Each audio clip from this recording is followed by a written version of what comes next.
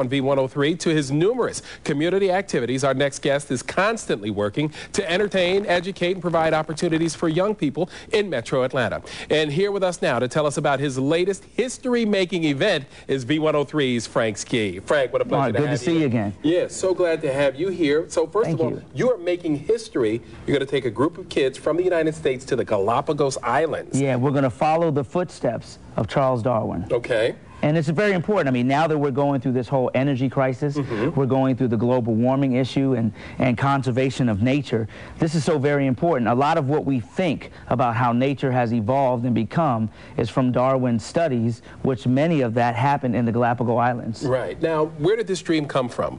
Actually, as a kid, I got a book like this about the Galapagos Islands, and I became just like a, a, a kid that was a nature freak. Okay. So before Discovery Channel, I was raising turtles and lizards from from eggs, and I'd always dreamed about going. And then a couple years ago, I called a best friend of mine, and I was like, what are you doing? He said, nothing. He's a firefighter. I said, well, take some time off we're going to the Galapagos. and we, we, we went on that journey, and it was, it was life-altering. So I've always dreamed about what happens if I would have taken, uh, you know, a group of kids, or somebody would have taken me at 10, mm -hmm. how different would I be in my perspective on all of this? So that's what I'm hoping to achieve. Okay, now this will be the first time an African-American foundation is traveling. Absolutely, absolutely. This far. Yes. And for this purpose. I mean, this is amazing. Yeah. What a life lesson this will be for these kids. And, and it's so educational. You know, we've got the Atlanta Zoo coming with us. Mm -hmm. We've got the Georgia Aquarium coming with us. And this is an opportunity, you know, I, I truly believe with the Frank Ski Kids Foundation, solving the problems of the world that we have with energy and global warming and all the things that we have going on,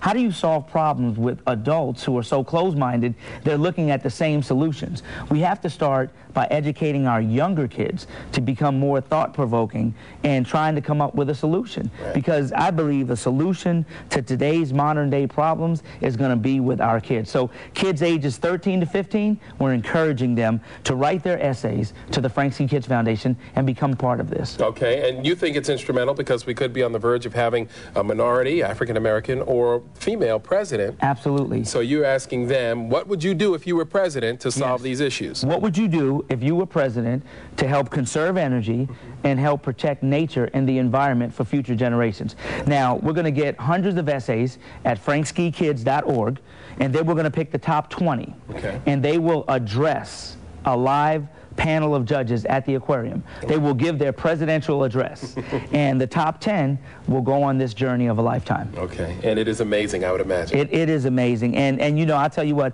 I've been, and I've been around the world. I've been to Africa, and I've been to Costa Rica and places, but to go to the Galapagos Islands and be able to walk up on animals that have no predators for hundreds and hundreds and hundreds of years, they, they actually, you know, they let you walk up on them because they don't understand what it is to be hunted. So you're stepping over seals, you're walking walking up to these land iguanas. You're seeing birds that are laying their eggs on the ground. This is incredible, and kids will learn so much. Amazing.